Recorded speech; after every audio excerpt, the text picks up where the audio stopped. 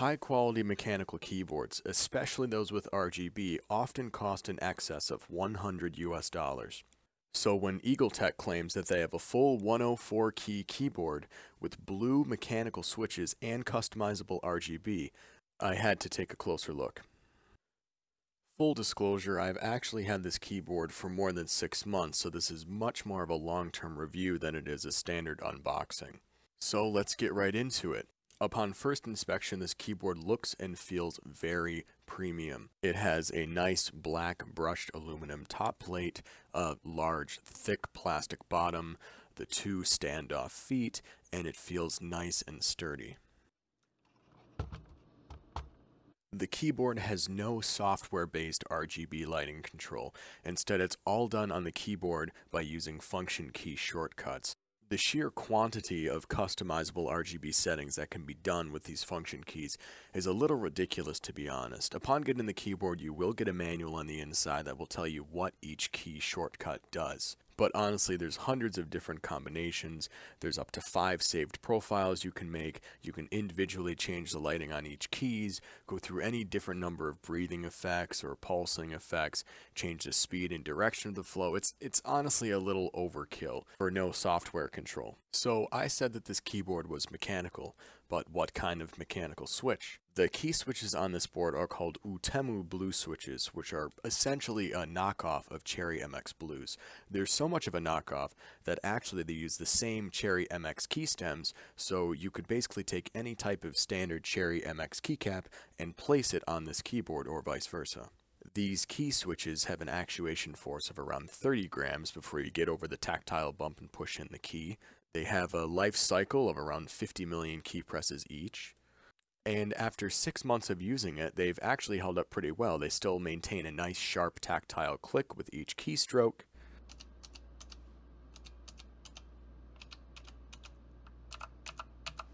Which easily defines when a key has or has not been actuated, which is great for gamers and typists alike. So let's head straight into the typing test.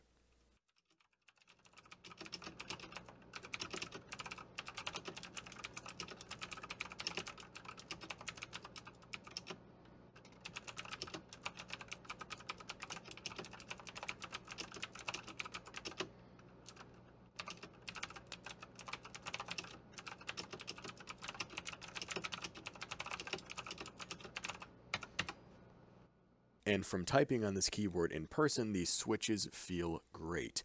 Every click is nice, distinct, and defined. The keyboard doesn't feel mushy or squishy. I don't think that I'm misclicking any of the keys. It really does feel like almost like a Cherry MX Blue switch. However, you may also have been able to tell that the key presses are quite loud, approximately the same volume of someone else speaking to you in the same room.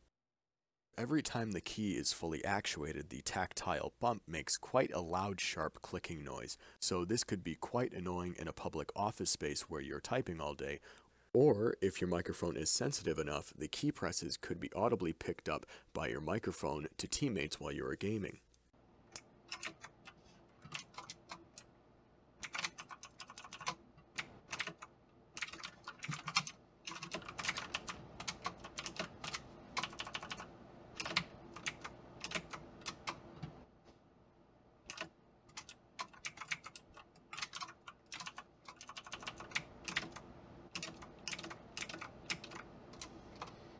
Would I recommend this keyboard? Well, if you're a typist, the answer would be a resounding yes. Every single key press feels crisp and responsive and very, very comfortable to type on. I don't feel like I'm accidentally hitting the wrong keys on the much mushier membrane keyboards.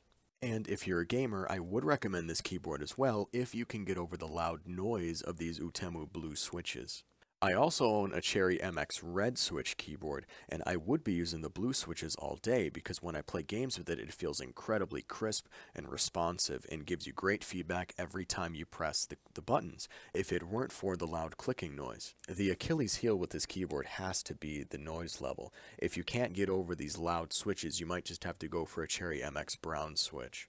But overall, for $49.99 US, you get an incredibly high build quality keyboard with quite high quality switches. And of course you get fully customizable RGB, which is a huge bonus because normally RGB carries a large price premium.